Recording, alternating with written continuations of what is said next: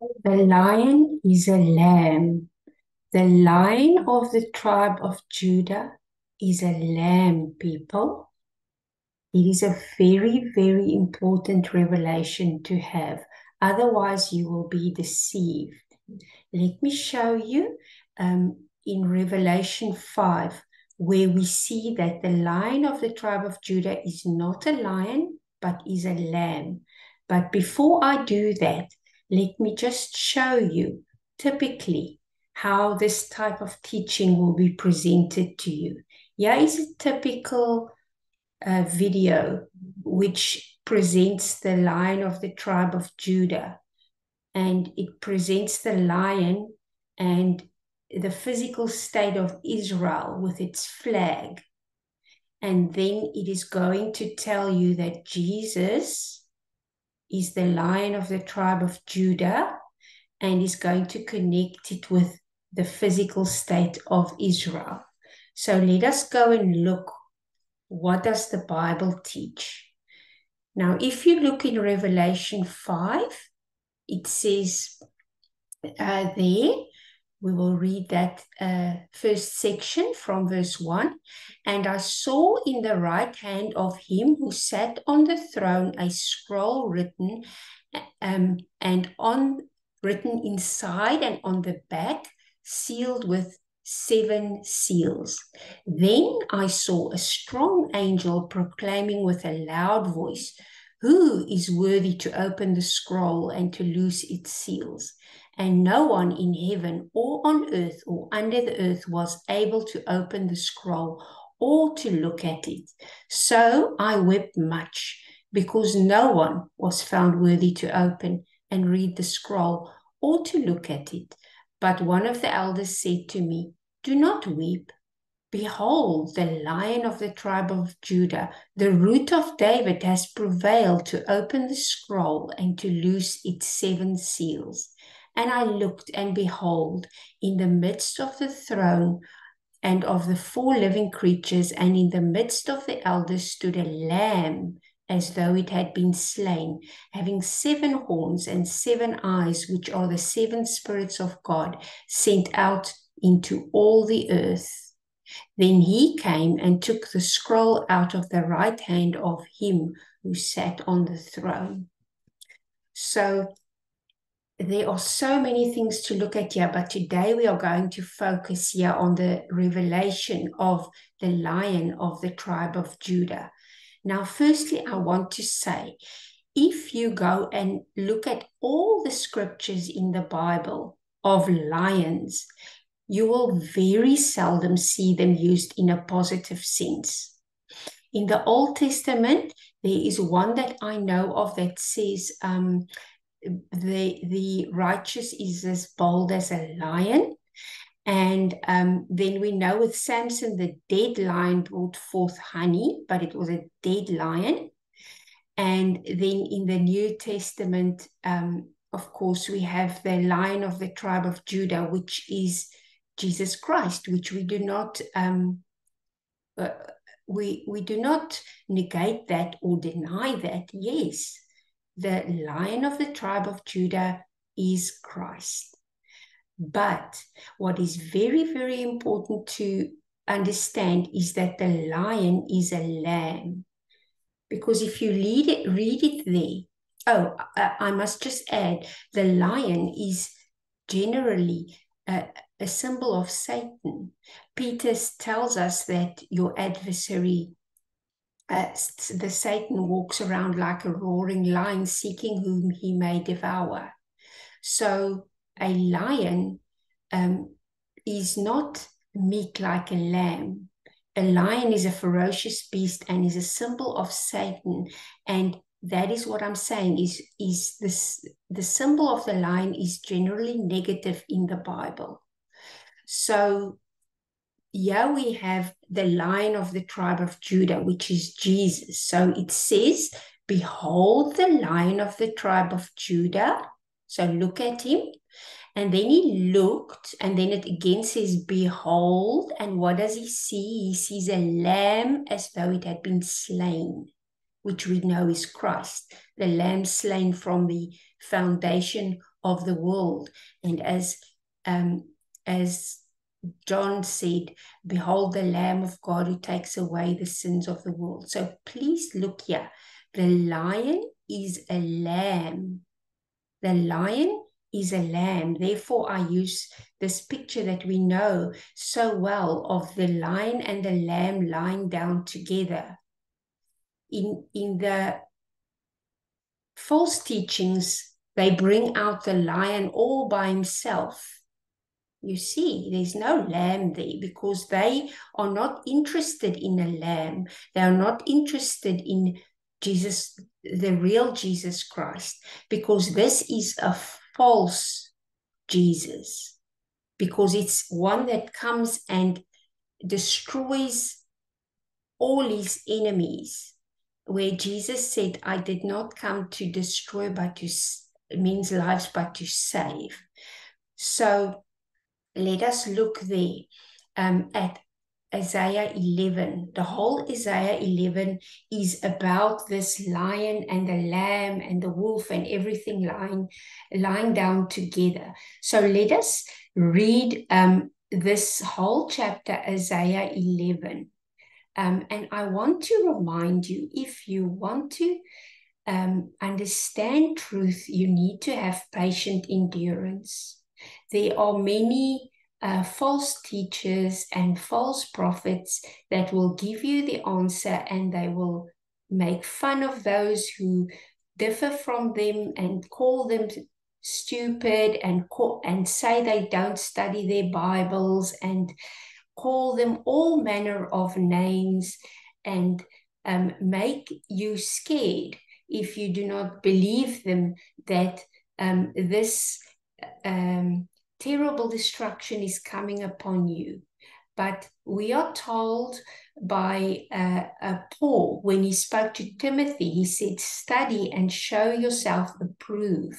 And the Bible keeps telling us through patient endurance, and we must test the spirits. So if you want a quick answer, you, you will probably get one from a false prophet or a fellow uh, um, student of the Bible who is deceived. Now, I am just your fellow disciple. I am not saying that I know everything. Um, I know, uh, all I know is that in the times we live in, we need to keep the word. We need to guard his word, and then he will guard us from the hour of temptation. Because that is what Jesus said to the Philadelphian church. He said they have little power, but they have kept his word.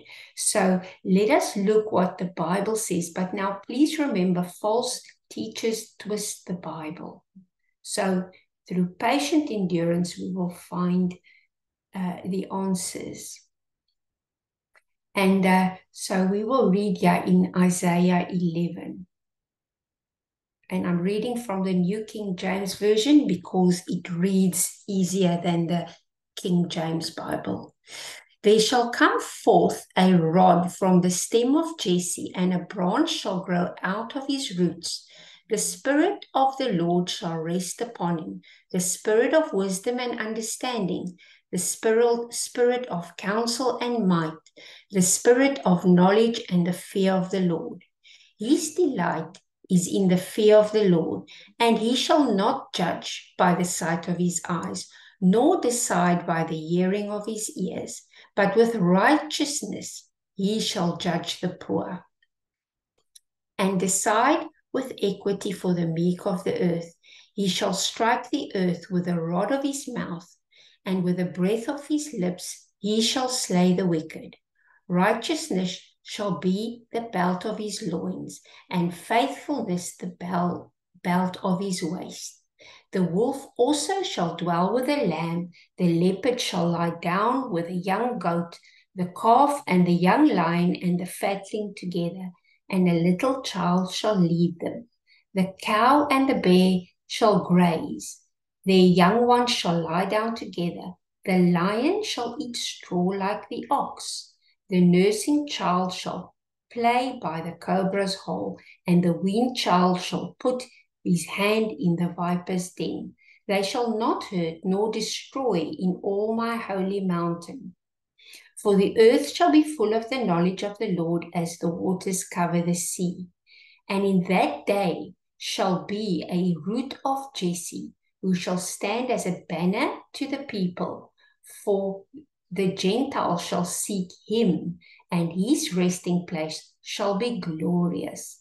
It shall come to pass in that day that the Lord shall set his hand again the second time to recover the remnant of his people who are left from Assyria and Egypt, from Pathros and Cush, from Elam and Shinar, from Hamath and the islands of the sea.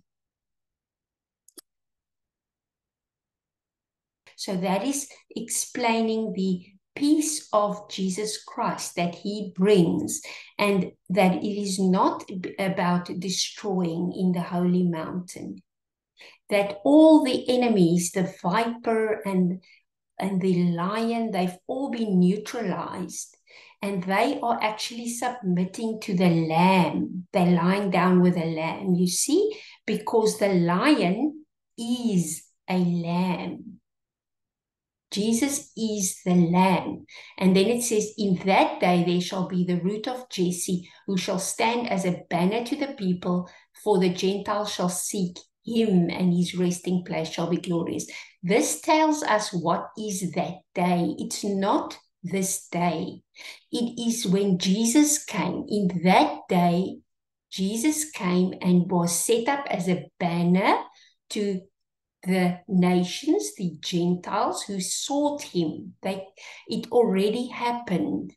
And his resting place is the rest we have in him, um, which the Bible speaks of the, the, the rest of God that we enter into through Jesus Christ. So this already happened. This gathering happened because what happened was when the the um, people were dispersed, um, some went to Babylon, some went to Assyria. Um, the, Israel was taken captive into Assyria, and Judah was actually taken into Babylon. Um, and this, and and then they, the Lord had them return to the land. And then he had the Messiah come. And if you will remember, it's Jesus said he only came for the lost sheep of Israel. So he preached to to the firstly to the remnant that was already there, and then it, he he sent out the disciples to to, to he said, "Go not in the way of the Gentiles." but go to the lost sheep. So the lost sheep of Israel was in the Gentile nations. They were scattered in there. So the disciples went out and they they went and and took the message of the gospel to to the lost sheep.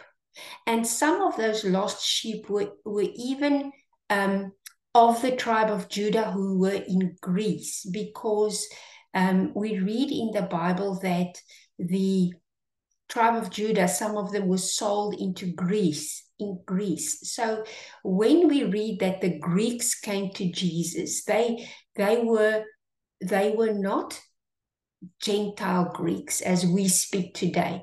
They were they had become Greeks, but they were actually Israelites. Um, they were from the tribe of Judah, and you will remember after Lazarus was um, resurrected, they actually came to Jesus, and then Jesus knew at that time that his crucifixion was near because you see the the um, they were being gathered in. They came to Jerusalem, and then when the the Holy Spirit was poured out, many were gathered together there. And then they took the message out again.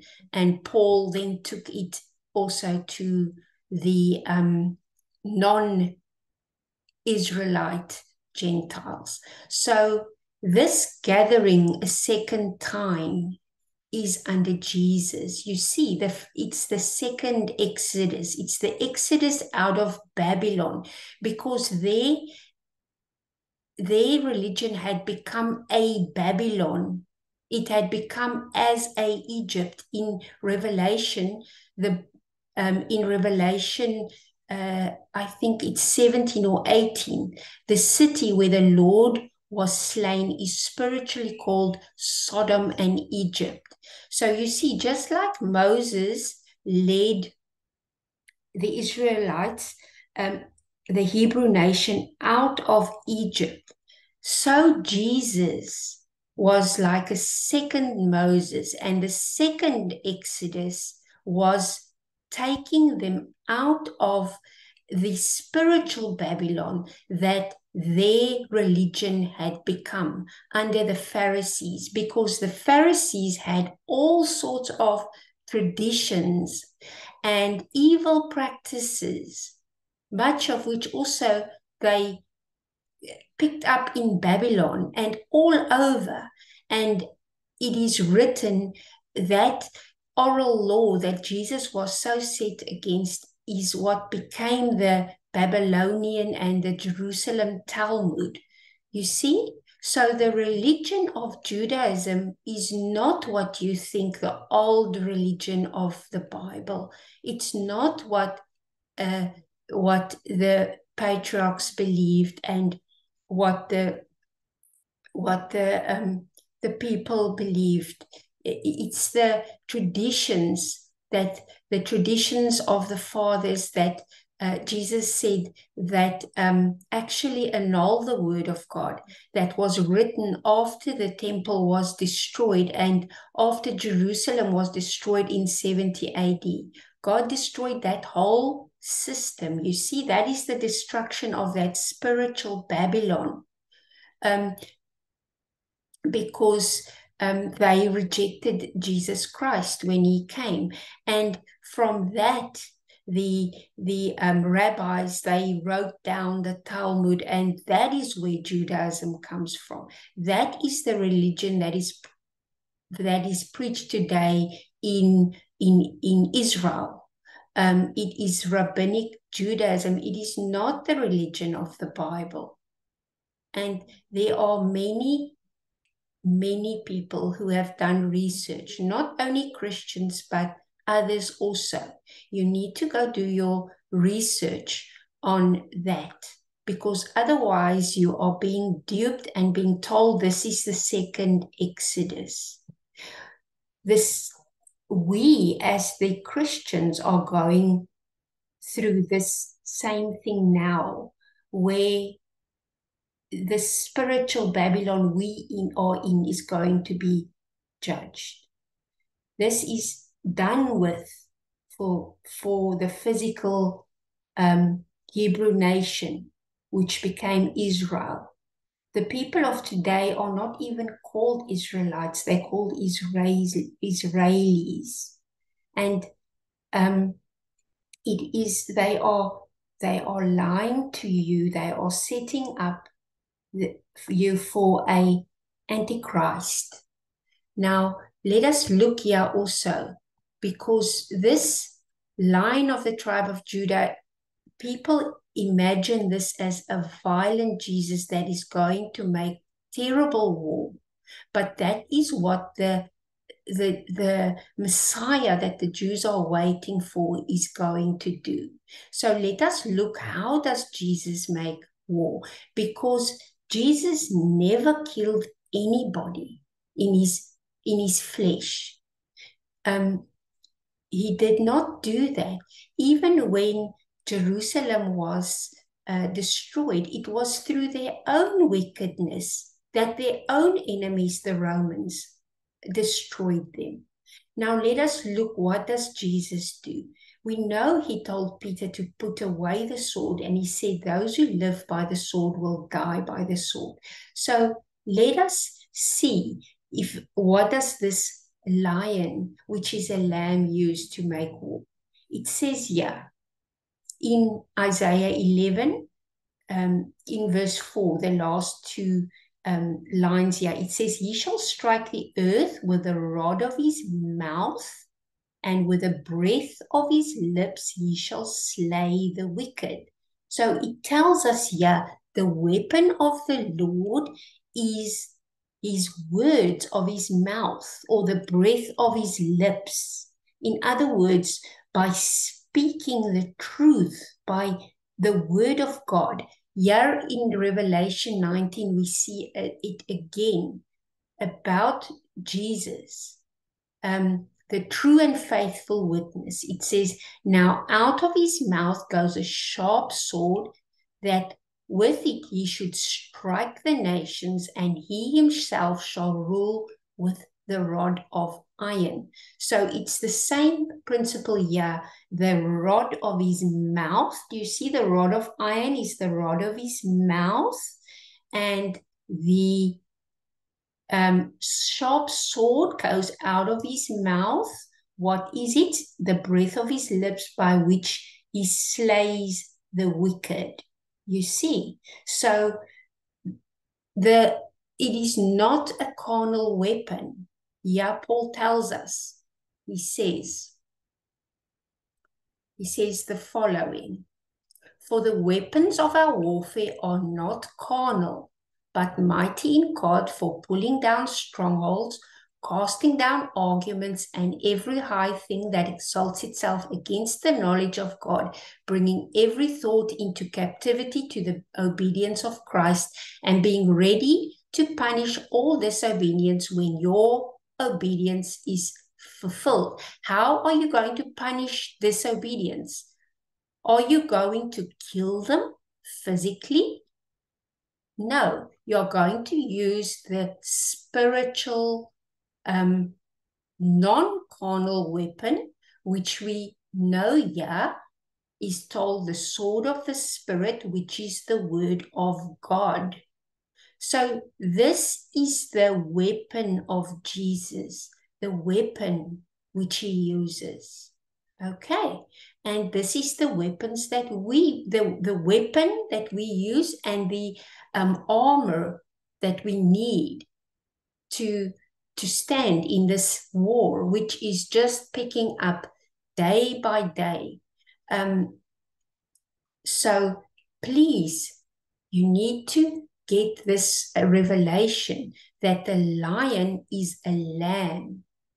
Jesus already came, and he came as the lion of the tribe of Judah, which is a lamb, and he already already gathered he gathered his people, his remnant, and and he he gathered also all the nations which now seek him, and our, he has a beautiful resting place.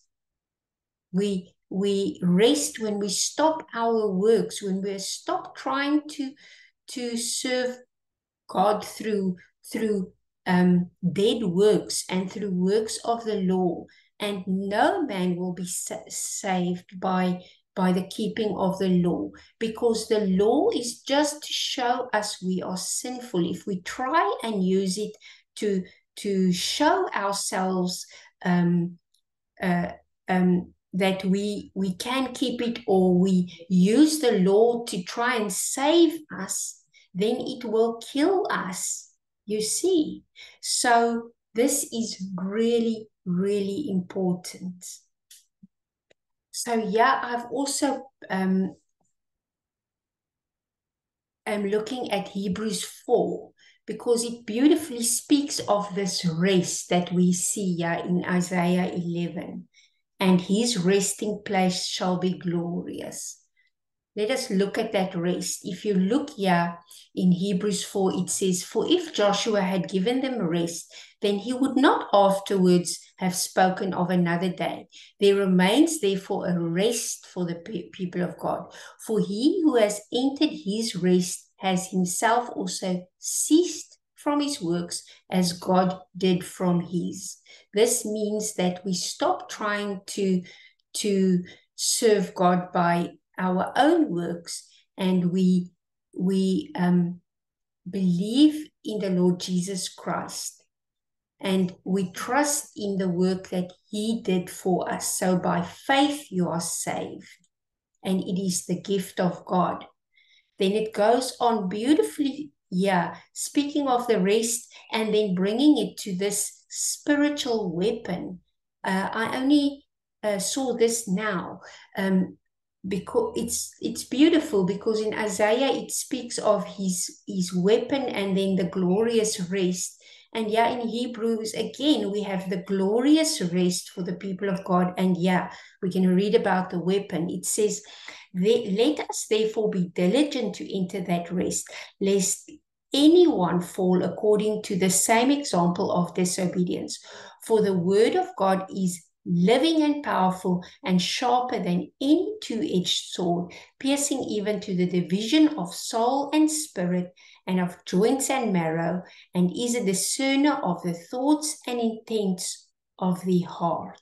So, yeah, it is telling us that this, the, this, um, the word of God is a sharp sword that can help us to rightly divide the word of God and discern the truth and even discern the thoughts and intents of hearts because you can clearly see when people are reviling um, uh, Bible believers, calling them anti Semites angrily and saying that since they they um, say that that the believers are the Israel of God, they are haters and anti Semites, and they are looking forward to this terrible lion that is going to just kill everybody. It discerns their thoughts and their intents. It, it discerns what they want, you see, because Jesus said to the uh, um, apost- uh, apostles when they wanted to bring down fire from heaven um, because the people did not believe um, in what he said. They said to him, Lord, shall we uh, call down fire from heaven as Elijah did? And the Lord rebuked them and he said, he said that they, they do not know what spirit they are of because the Son of Man, man did not come to destroy man, men's lives, but to save men's lives. And how does he do it? By speaking the truth. And how do we do it? By speaking the truth and preaching the, the gospel. The Lord is already reigning. We are already in heavenly places. Now, it's too much to go through all that. We we in time if the lord allows me i will show you slowly all these things but please know that this time of the physical israel that was ended in 70 AD there is a second coming and a second exodus, but it is now the Lord is working with the whole world. You see? So it is something else. Um, and so I really recommend that you must understand what is meant in the Bible with the Israel of God and what is the seed of Abram. Because if you don't understand that you are going to be terribly deceived. You you already are. Now you may be somebody who already knows what i am saying. Then my words will be a witness to you and a comfort to you i'm not speaking to you because i hear already great accusation towards uh, the the believers um I come I speak comfort to you if you can see these things. If you haven't seen it, um, or you're only starting to see it now, I plead with you, please. Uh, there are many, many false prophets. Uh, they are everywhere and they are multiplying as we speak. And they are very proud and very sure of themselves, and they are um, they are counting us among the transgressors, as the Bible said of Jesus. He was counted among the transgressors. So there are many um, people, many rebellious people who are who are standing for Palestine and who are on the side of Hamas. And now, because of these scriptures, we are going to be counted with them. That is the trick, you see? That is the trick of Satan. It's always how it works that that we get set up like this. But this these things should have been spoken of long ago. You see, because that's what happens when we do not um, speak the truth to our brothers, but remain quiet because it is easier. And then Satan is able to set a trap for for the for the innocent and a trap for those who are in Christ. So remember, the lion of the tribe of Judah is, is the lamb.